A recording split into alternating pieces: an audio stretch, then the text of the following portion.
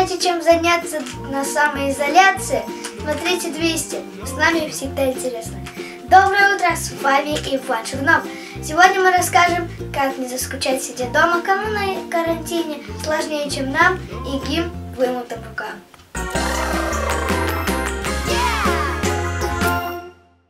Думаете, только ваша жизнь изменилась переходом на самоизоляцию? А вот и нет, некоторым стало еще сложнее. Об этом расскажет Данил Шагунов.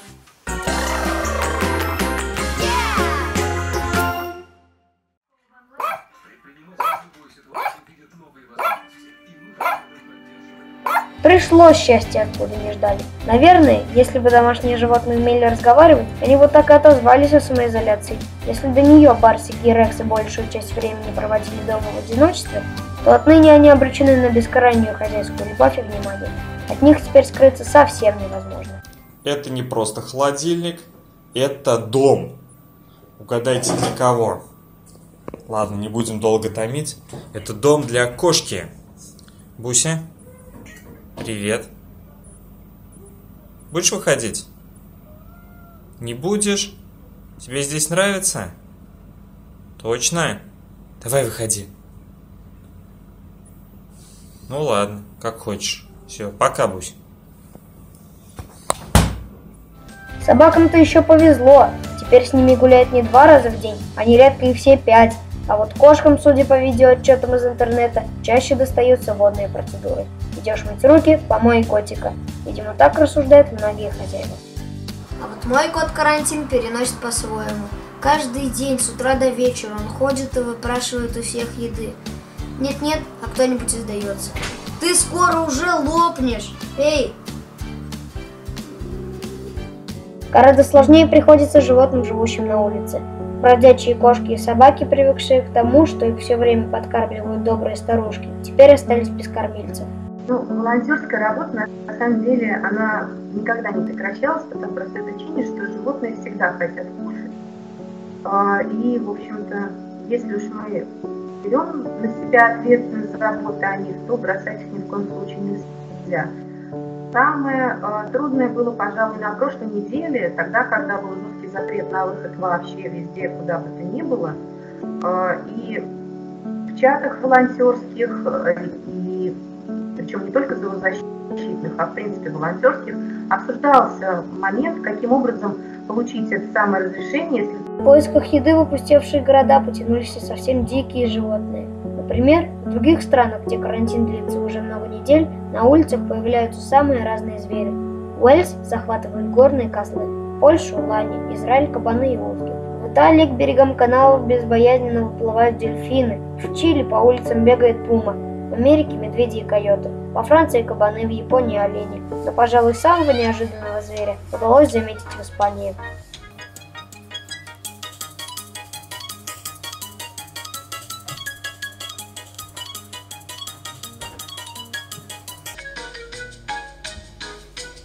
Будем надеяться, что нам природа сюрпризов не готовит. Ведь всегда лучше кошка в руках, чем зоопарк под окнами. Специально для детских вестей Даниил Шагунов.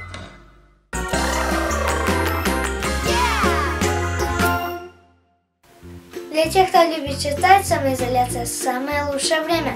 Специально для них у нас в программе обзор самых интересных книг.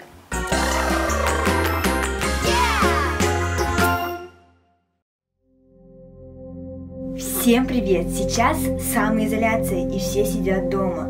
У вас появилось свободное время, в которое можно почитать. Поэтому появилась рубрика, в которой я буду советовать девочкам разных возрастов одни из самых увлекательных книг. Нашим маленьким зрителям особенно хороши сказки. Сказка – это волшебный мир, где каждый найдет что-то для себя – мне особенно нравятся сборники со сказками разных писателей. У меня вот такая книга. В ней сказки как зарубежных писателей, так и русские народные. Одна из моих самых любимых «Царевна лягушка». Думаю, что вам тоже очень понравится. Всем советую прочитать. Иногда так хочется, чтобы у тебя была собака, но родители против. Знакомая ситуация – такую же попала девочка Эмили, главная героиня книги Холли Веб «Мечта Эмили». Эту книгу будет рада прочитать каждая девочка, учащаяся в начальной школе. Эмили безумно хотела собаку, но родители были против. Она придумала, что делать, а получилось у нее или нет, вы узнаете, прочитав книгу. Иногда так сложно сказать, что с тобой случится в следующую секунду. Вот и для главной героини книги «Флешка для звезды», написанной Верой Ивановой, для Сашули Алешиной, обычная прогулка с собакой превратилась в настоящее приключение. Ее четвероногий друг принес в зубах флешку с записью песни, а Сашуля тем временем познакомилась с потрясающим парнем. Эта книга особенно подойдет девочкам постарше. Я уверена, что эти книги вам обязательно понравятся. Ну а что прочитать, когда они закончатся, я расскажу через неделю. До встречи!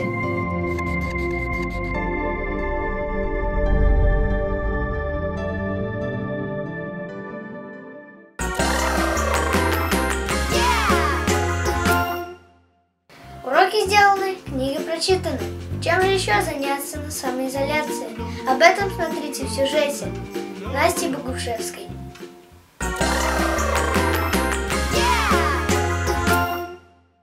Если вы переделали уже все дела, переиграли все игры, которые у вас есть, и не знаете, чем заняться, то я предлагаю вам сделать настольную игру «Лабиринт». Это идеальный вариант для тех, у кого есть младший брат или сестра. Она отвлечет их. Да не только их. Взрослые тоже с удовольствием в нее играют. Ну что, начинаем? Нам понадобится линейка, ножницы, клей, карандаш, трубочки и бусинка. Неизвестно, какой народ придумал лабиринт. Зато точно известно, что главной постройкой Египта являются не пирамиды, как полагает большинство, а огромный лабиринт. Самый известный лабиринт по преданию был построен на острове Крит афинским скульптором. Первый шаг. Нужно нарисовать лабиринт. Я воспользовалась карандашом и линейкой, чтобы линии были ровнее. Вы можете срисовать мой лабиринт или придумать свой. Начертить лабиринт не так-то просто. Старайтесь не делать совсем мелких черточек. На них будет сложно приклеить трубочки. Но и чересчур длинные линии чертить тоже не надо. Так лабиринт получится скучным. Второй шаг. Нужно приклеить трубочки. Мы выпрямляем трубочку, чтобы ее было легче приклеить на углы лабиринта. Кстати, трубочки для лабиринта не самый удивительный материал.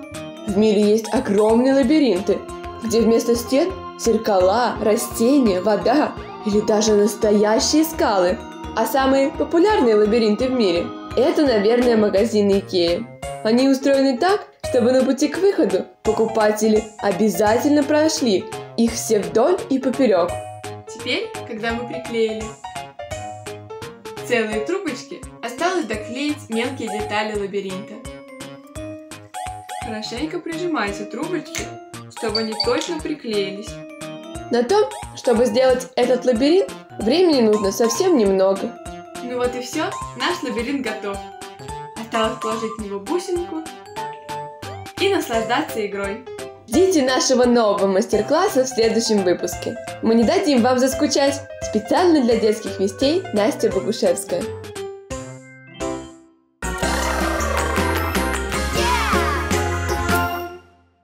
Что еще можно сделать, не выходя из дома? К примеру, снять клип. Именно так и поступила группа «Соловушка».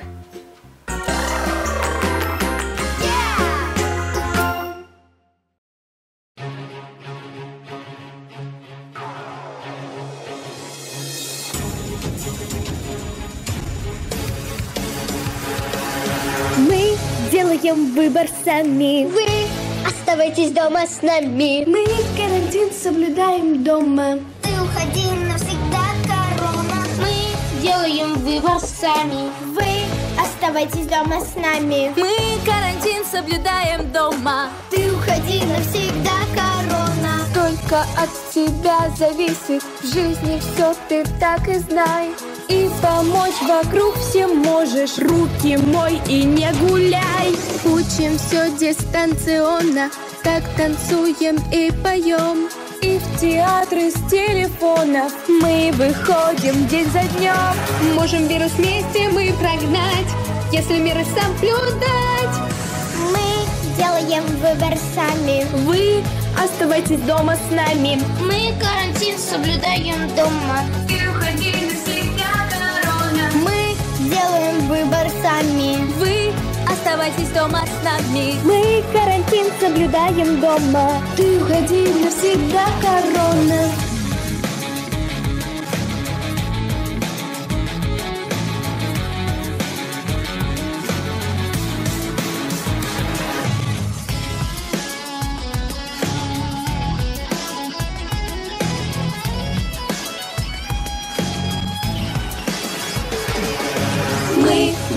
делаем выбор сами, вы оставайтесь дома с нами. Мы карантин соблюдаем дома. Ты уходи навсегда, корона. Мы делаем выбор сами, вы оставайтесь дома с нами. Мы карантин соблюдаем дома. Ты уходи навсегда, корона. Мы делаем выбор сами.